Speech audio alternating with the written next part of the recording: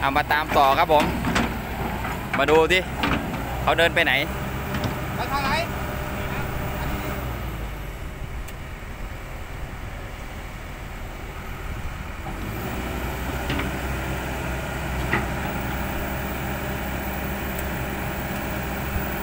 แล้วที่ประคนชัยล่ะคนเยอะ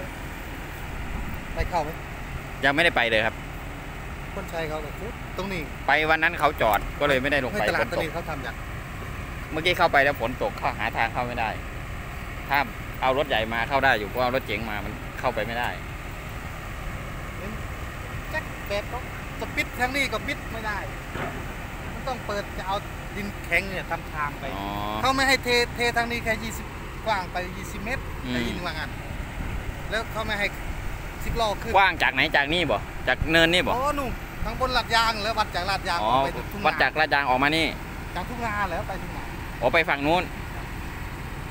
นึกว่าถมมาฝั่งนี้นู่นคิดว่าใครไปถูกเขานู้นนี่จะทำพาไปนู่นทำพาหน้าไปนู่นไปดูเขาเป็นไรนักลงฮะนักลงมาจากไร่เฮ้ยไป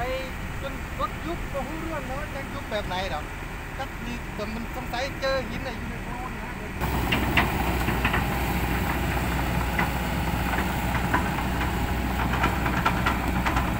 แล้วครับ ไปขุดฝั่งนี้ต่อ เมื่อกี้เดินข้ามฟากมาจากนู่นครับ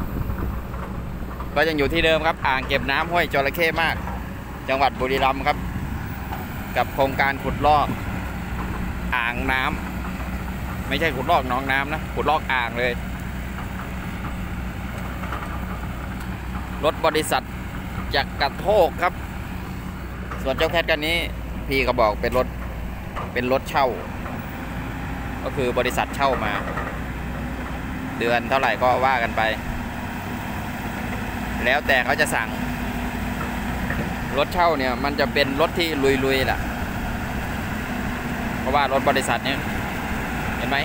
เมื่อสักครู่นี้เราเราก็ได้ดูกันแล้วดุเดือดมาก เจ้าแคทได้เดินลุยโคลนเลย คลิปที่แล้ว โอ้โห แต่ตอนนี้ครับฝนมาแล้วครับผม ไม่ได้เอาร่มมาด้วยครับ ต้องเดินละผมต้องรีบเดินก่อนละโลมฝนมาแล้ว เดี๋ยวจะเปียกซะก่อน โอ้หยดแล้วหยดแล้วหนีฝนเด้อพี่น้องเด้อ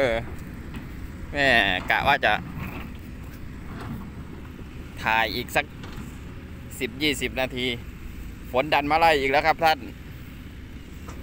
มันมาแล้วครับ มันมาแล้วไม่ไหวแล้ว